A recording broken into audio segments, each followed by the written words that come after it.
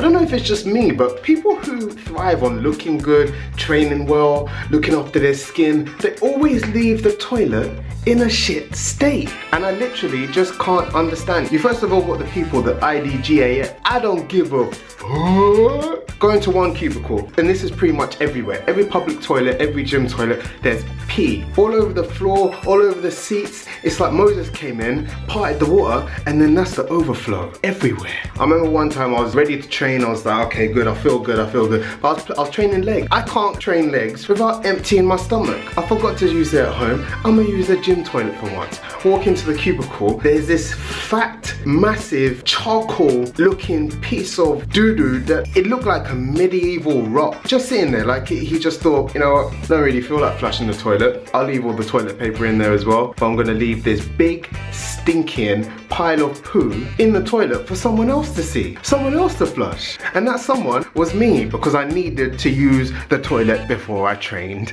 legs. This is all part of gym etiquette. You can't leave your dookie in the toilet for someone else to flush. Or is it just me? Come on, leave your comments in the comment section. Is it just me? Okay, considering that you have to be a minimum age of 16 to join the gym, I do wonder how children get in. Because you know when you go to your school toilet, there'll be graffiti on the wall, there'll be stupid messages in the toilet cubicles, there'll be mashed up pieces of toilet paper with water splattered on the mirror. Why am I seeing that at my gym? Why? Why? Who is it? Is it you? Hmm? Hmm? Hmm? It's like when people join the gym, they regress about 10 years and go back to the age of 12 and we're back in secondary school. And then you've got the shit ninjas. And I'm not talking about a ninja that is terrible at his job. I'm talking about you walk into a cubicle and there'll be pieces of shit on the wall, on the seat, on the top of the toilet seat. How did it get there? What did you do? What did you literally do? I'm actually confused. If anyone knows, let me know because I am literally confused. I mean, were they like this?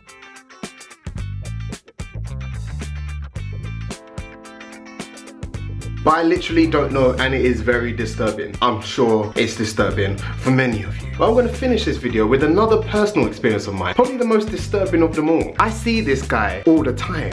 I see this guy every day at the gym. I walk into the toilet, it's leg day again and I forgot to use the toilet at home, so I've gone to the gym toilet. I see this guy, as I'm entering the toilet, he's coming out of a cubicle. This guy very well groomed. He has very nice hair. He has very nice skin. He always wears good clothes to the gym. I step into the cubicle that he's in and I kid you you not, shit, shit, shit everywhere. And dude didn't even wash his hand. And you wanna come and shake my hand and you wanna go and use other gym equipment that everyone else has to use with those cooties on your fingers. Stop, bruv. You know who you are. I'm not gonna name and shame on the tinternet, but I'm letting y'all know. Disgusting. Bloody disgusting.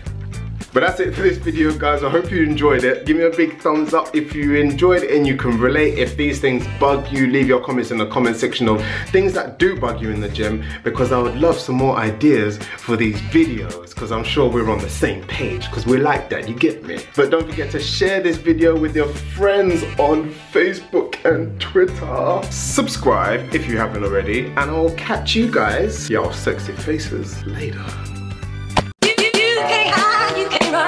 Remember to always be true, no matter what you do. Run it, I never front it. I got my whole crew life on it.